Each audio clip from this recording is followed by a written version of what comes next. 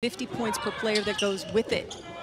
Jones at the cup with the finish.